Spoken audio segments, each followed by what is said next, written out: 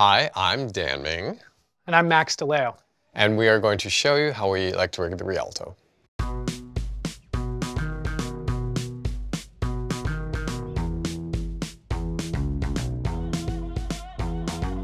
So here we have a Venice 2 body and a Venice 2 Rialto, and we're going to put them together and do a really bare bones rig like we like to do with like car rigs and in Top Gun and um, basically completely strip it down to the bare essentials.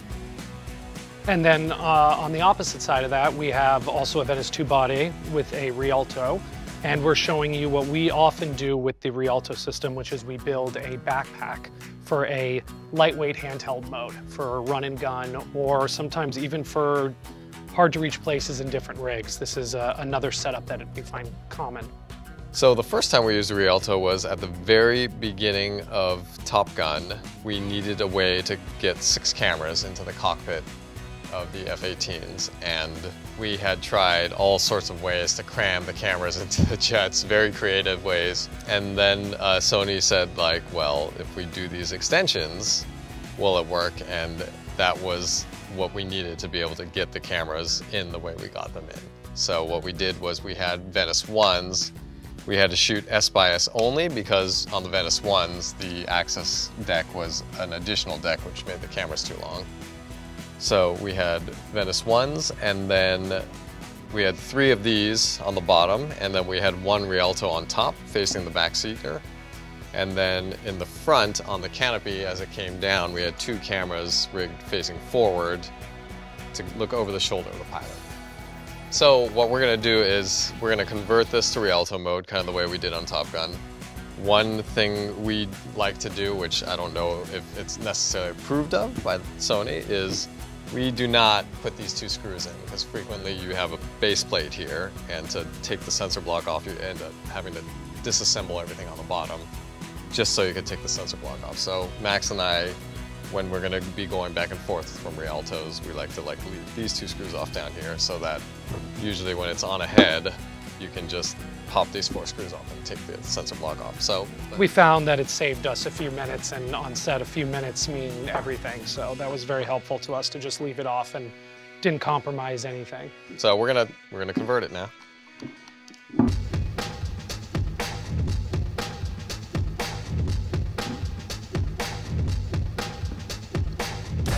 So in Top Gun, we had two jets we had to rig. So we had six Sony Venices for each jet, plus we had four additional Sony Venices for the external jet rigs. Which was on a third jet most of the time. Which was on a third jet most of the time. So we tried to make it so we don't have, didn't have to convert that much by, you know, making it up by volume of cameras we had. So, because frequently there was no time to convert. To, for us to con to build the cameras in the jets took us about three, two to three days. Two to three days, depending. Each time we did it, and we had to do it like um, four times, five yeah, times. on that movie, we the schedule was constantly in flux, so we typically would build it and then de-rig.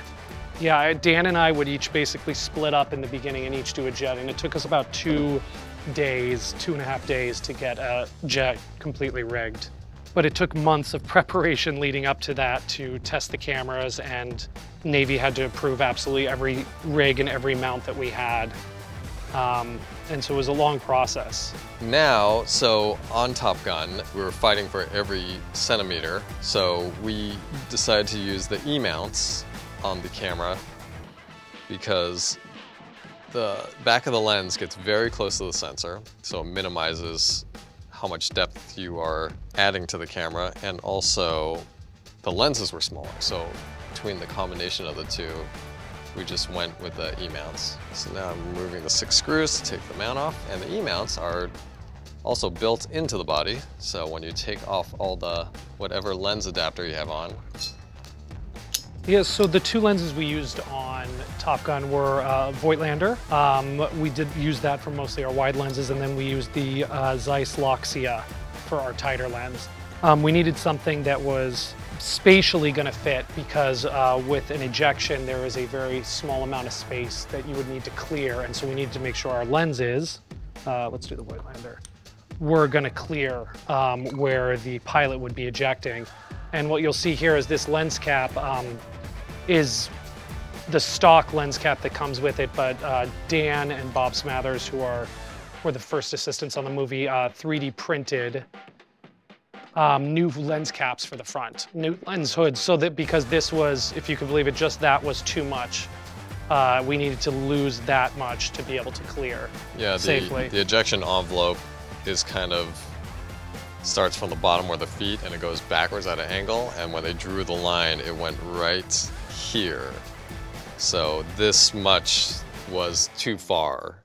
The top was fine because it was coming at an angle from down and it would go like this, the ejection path. So we took unscrewed this lens and then we 3D printed a little plastic ring that would just get rid of that hood and make it flush there. So now uh, this is pretty much it for the front end.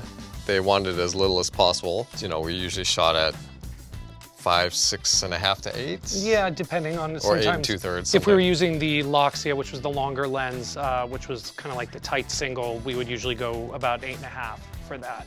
So we had custom mounts made in the cockpit. The Navy basically said, these are the screw holes you're allowed to attach stuff to.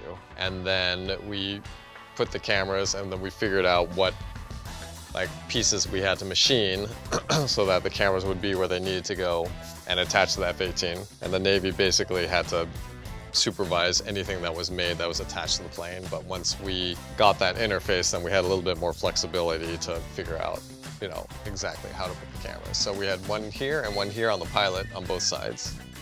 And then And then for the front facing, from the front facing, there was a tall one on top, and then there were three uh. Venices just without uh, raw deck on the bottom. this is really specialized to Top Gun. I feel like 90 plus percent of the time, if you're going to be doing a car rig or anything, you're going to want control over the lens. And therefore, you're going to probably strip away from something this stripped and go to something over here or somewhere in between. So we're going to move on to the backpack now.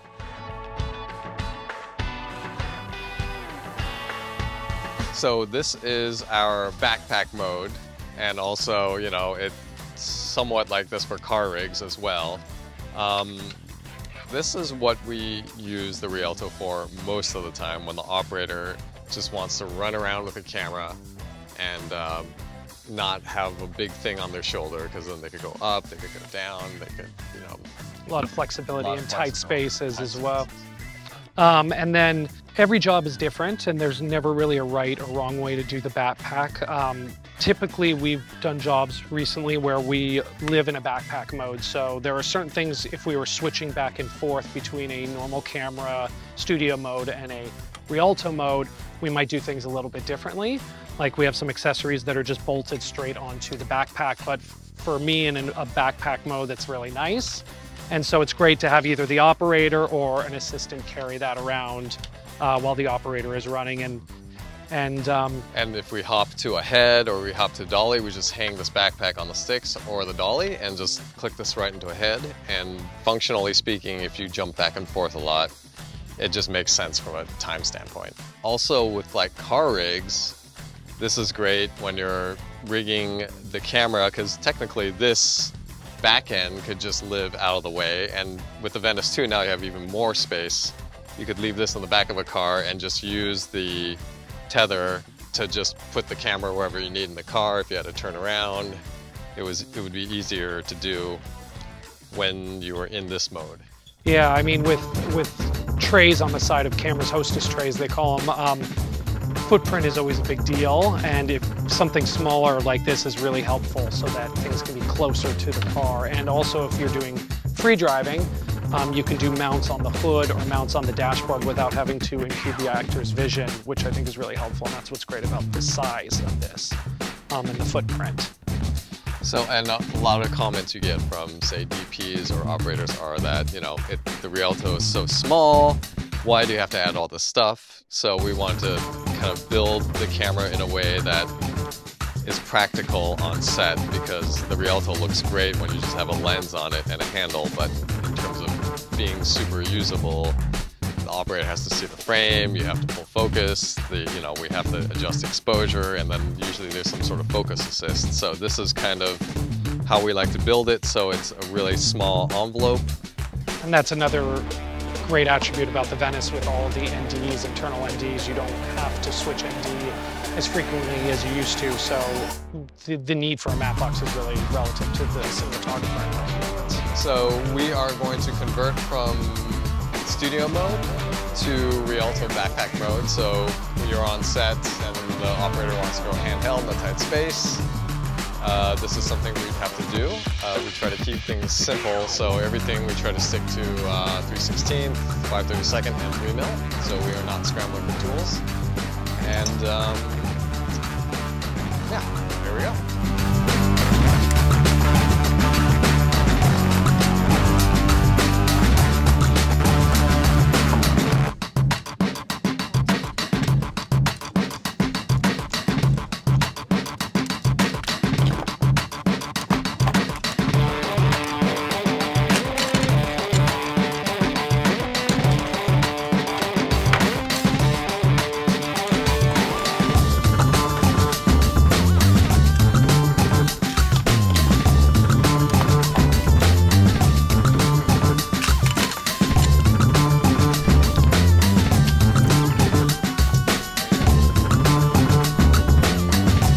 ハハハハ。